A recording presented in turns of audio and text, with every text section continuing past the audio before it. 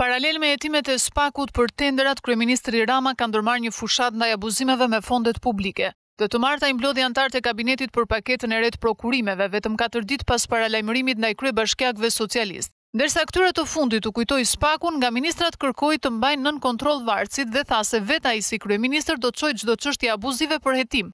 Sikur në një rast vetëm,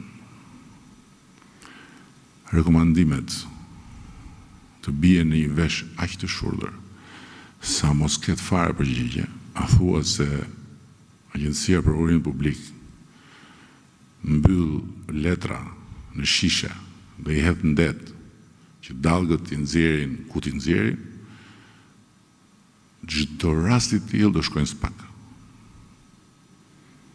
Dhe do shkojë në SPAK nga kjo godinë këtu. Këtë angazhim Rama e kërkon në nisje të mandatit të tretë të tij dhe pas tetë vitesh në qeverisje, paraqet një bilanc sipas të cilit vetëm gjatë dy viteve të fundit janë asistuar nëntëqind e tridhjetë e gjashtë procedura, e nga këto shtatëdhjetë për qind kanë rezultuar problematike.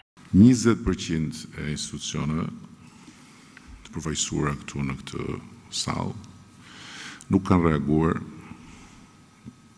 dhe ose nuk kanë reflektuar ndaj rekomandimeve të Agjencisë së Prokurimit Publik. Paketa e re e prokurimit publik, sipas kreut të qeverisë, synon mjete të reja efikase dhe mekanizma monitorues e ndëshkues në rastet e shkeljeve. Duke funksionuar si hallkë Funksionon si pjesë e një zinxhiri ku komunikimi duhet të jetë jo nëntëdhjetë e nëntë për qind, po njëqind për qind i garantuar. Deri më tani, në duart e Prokurorisë janë vetëm pesëdhjetë çështje për abuzimet në tendera, disa të nisura nga vetë SPAK dhe pjesa tjetër e denoncuar nga opozita.